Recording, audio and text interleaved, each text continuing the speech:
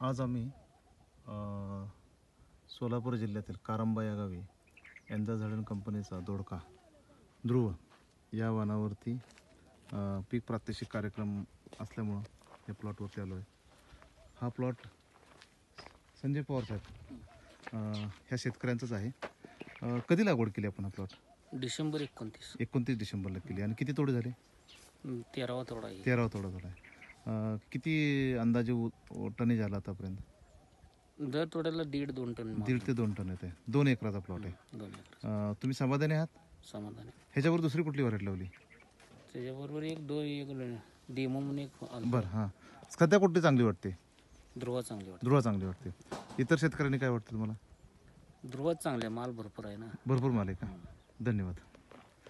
तर हा शेतकऱ्यांचा अनुभव आहे आणि मी आता त्यांच्या प्लॉटवरती तुम्हाला दाखवतो आहे कशा पद्धतीनं ह्या वानाला सेटिंग लागलेलं आहे.